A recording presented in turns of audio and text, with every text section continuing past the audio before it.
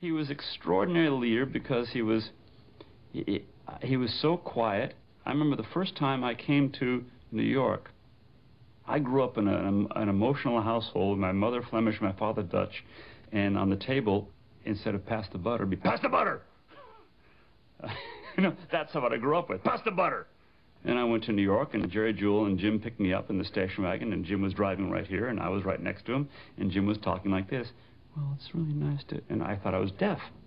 Immediately, Jim and Frank started performing very well together.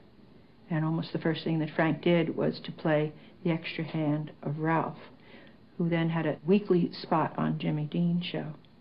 I remember every show we'd be up there with the writers and rehearsing and rehearsing and rehearsing, and Jim had a good training period. Jim was not a man who liked to be told what to do.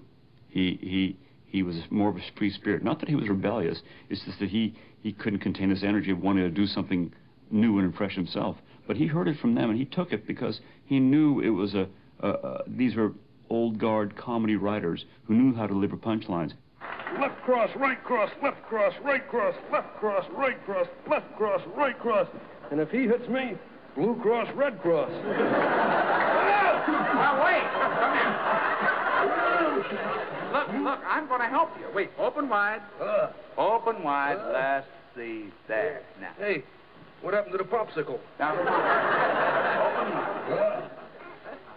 Ha, ha, ha, ha, ha. Ha, ha. Hey, Doc, there's a hole in your headlight. Now, get out of here.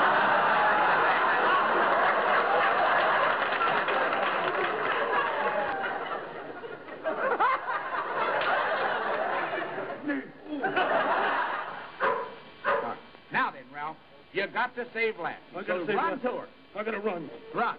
Yeah. Fast. Faster, Fast. faster. And now you come to the river, I come to a river. and you got to fight the current.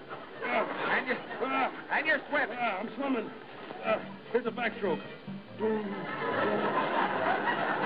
Just like Esther Williams. All right, wait, wait, wait. You're on the the other dog side.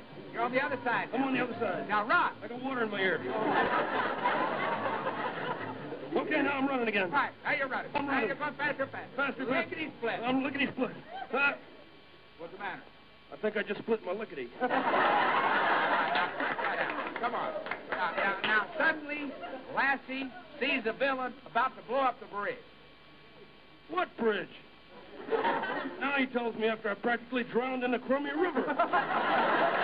Now, now, I'm telling you, this can't miss. This is the great. Let's see. Says, uh, this spray is guaranteed to soothe throat irritation.